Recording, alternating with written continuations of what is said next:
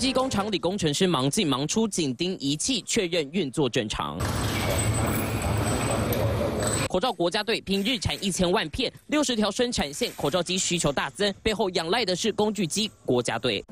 经济部部长沈荣金、工业局副局长杨志清视察口罩机器厂，而站在一旁的就是艺人殷其老公张世玉，也投入国家队。殷其脸书上写下：“认真男人最帅气、最有型。”政府官员和想象中不一样，不是应该西装笔挺坐在办公桌上吗？看见部长和工程师们忙进忙出，帮忙搬货、找零件，甚至席地吃便当，无比感动。他都没有办法，就是休息，还是有很多事要做，所以我这能做，大概就只能帮他炖炖鸡汤。汤啊，然后现金啊，让他就是精神会比较好啊，可以应付工作上的一切这样。啊，其实主要也是基于社会责任啊，四个盟军都是不同公司的人。然后竟然可以组织起来，然后来完成这项任务，那我觉得这是也是让我很感动的一件事情。一台口罩机器正常组装时间要四到六个月，现在却短短一个月内完成六十条生产线，三十家产业龙头一天内组成五十人精英团队，包括工程师工资、加班费、食宿等无偿的付出高达五百万元。毕竟隔行如隔山呐，前段时期是比较辛苦哦，因为这个不是很熟悉，